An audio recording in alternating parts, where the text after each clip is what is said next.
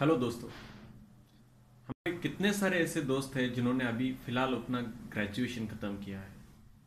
अपना ग्रेजुएशन ख़त्म करने के बाद वो दुविधा में पड़ जाते हैं कि आगे जाकर क्या करेंगे। चाहे वो डिप्लोमा के छात्र हो, चाहे वो इंजीनियरिंग के छात्र हो, क्या किसी अदर फ़ील्ड के छात्र हो। स्पेशली तो आज हम देखते हैं कि डिप्लोमा हो या इंजीनियरिंग के छात्र हो, वो स्पेशली दुविधा में पड़ जाते हैं क्योंकि उनकी संख्या आजकल ज़्यादा बढ़ गई है। तो इंजीनियरिंग और डिप्लोमा के छात्रों के लिए मेरा एक सजेशन है या फिर वो एक सजेशन के तौर पर या अपना एक ऑप्शन के तौर पर एक चॉइस रख सकते हैं और इस पर वो अपना करियर बना सकते हैं। समझिए अगर कोई डिज़ाइन फ़ील्ड में जाना जा, चाहता है या फिर कोई किसी प्रोडक्शन या फिर किसी अदर फ़ील्ड में जाना चाहता है तो प्रोडक्शन में जाना चाहता है तो नो प्रॉब्लम या फिर क्वालिटी में जाना चाहता है तो नो प्रॉब्लम क्योंकि जॉब वैकेंसीज रहती है, उसके हिसाब से उसको आसानी से मिल जाती है।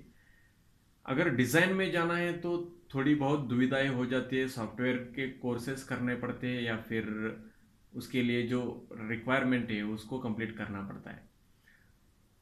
स्पेशली जो जिन लोगों ने बी किया है, या फिर डिज़ाइन कोर्सेज किया है, जिनका कुछ रेफरेंस है, वो लोग आसानी से क्या कर सकते हैं? डिज़ाइन फ़ील्ड में जॉब पा सकते हैं, क्योंकि थोड़ी बहुत उनकी लिंक रहती है या फिर किसी के रेफरेंस की वजह से जाते हैं, वो अलग बात रहती है। अगर आपके पास रेफरेंस नहीं है, या फिर कुछ वैसा आपके पास टैलेंट स्पेशली कोर्सेस या फिर आपके पास टैलेंट नहीं है तो डरिए मत। उसके लिए एक सॉल्यूशन सिंपल सॉल्यूशन है। फ़र्स्ट ऑफ़ ऑल आप लोग सिंपली किसी छोटे से इंडस्ट्री में ज्वाइन हो सकते हो और अपना जो वर्क है या फिर जो अपना प्रोफ़ाइल है, जो क्वालिटी रहने दो प्रोडक्शन रहने दो, उसके लिए आप काम कर सकते हो।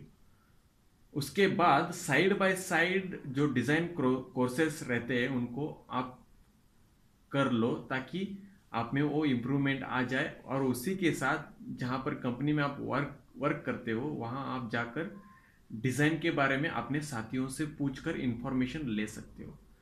वहाँ से इन्फॉर्मेशन लेकर और इस, यहाँ पर जो आप कोर्स करते हो, वहाँ पर थोड़ा बहुत उस सॉफ्टवेयर के बारे में जान ले और उसके बाद अगले ही साल या फिर एक दो साल छोड़कर डिज़ाइन फ़ील्ड के लिए इंटरव्यू दे सकते हो। तब तक आपका एक कॉन्फिडेंस लेवल भी बढ़ जाता है और आसानी से आप चैलेंज भी कर सकते हो कि मैं डिज़ाइन फ़ील्ड में कर सकता हूँ।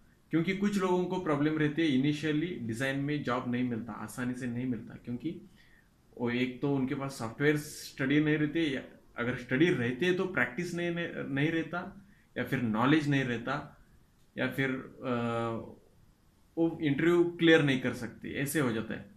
इसका मतलब क्या? फ़र्स्ट ऑफ़ ऑल अंदर घुसो, अंदर घुसने के बाद सिस्टम कैसा है समझ लो, और उसके बाद धीरे से आगे बढ़ने का खुद का प्लान बनो, उसके हिसाब से वर्क करो। ये ऑप्शन आपके पास रहता है। अगर नहीं, आप लोग प्रोडक्शन या फिर क्वालिटी में कर कर सक, करना चाहते हो तो वो कॉमनली वो फ़ील्ड ज़्यादातर ओपनिंग्स रहते हैं, उधर आप लोग काम कर सकते हो। उसका कुछ प्रॉब्लम नहीं रहता है। पर लाइफ क्या हो जाता है? Continuously design sorry in the production या फिर क्वालिटी में उतना डेवलपमेंट नहीं रहता है। नॉलेज रहता है, पर उस लेवल तक जो डिज़ाइन में जो कंफर्ट जोन रहता है या फिर एक प्रेस्टीज रहता है, उतना नहीं रहता है कंपेरेटिवली नॉलेज तो रहता है बट डेफिनेटली तो अगर आप करना चाहते हैं डिज़ाइन या फ़ील्ड डिज़ाइन फ़ील्ड में इनिशियली आपको नहीं मिलता है तो डरिए मत, कुछ घबराइए मत. First of all you can also work for them with free of cost किसी कंपनी में अगर आप काम कर रहे हैं तो वहाँ पर फ्री ऑफ़ कॉस्ट काम कीजिए, अंदर घुसिए किसी भी तरह. फ़र्स्ट ऑफ़ ऑल अंदर घुसने के बाद एक बार आपको सिस्टम अगर समझ में आ जाता है, आ जाता है तो आप आसानी से ऊपर जा सकते हैं और अपना करियर में जो अपना टारगेट रहता है वो अचीव कर सकते हैं। Thank you